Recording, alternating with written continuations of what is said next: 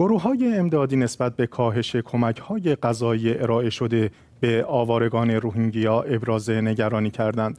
سازمان ها و گروه های امدادی هشدار دادند که کاهش روزافزون جیره غذایی جان بیش از یک میلیون آوارگ روهینگیا در بنگلادش را به خطر می اندازد. این هشدار روز پنجشنبه پس از بیانیه برنامه جهانی غذای سازمان ملل مبنی بر کاهش بیشتر جیره غذایی ارائه شده به پناهندگان مسلمان روهینگیا در اردوگاه های بنگلادش صادر شد.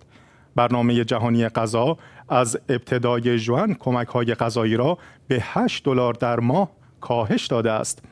این کاهش جدید دومین کاهش از زمانی است که سازمان برای اولین بار کمک هایش را از 12 دلار به 10 دلار در ماه مارس کاهش داد. از جمله گروه هایی که نسبت به این موضوع هشدار دادند می توان به شورای پناهندگان نروژ و سازمان نجات کودکان اشاره نمود.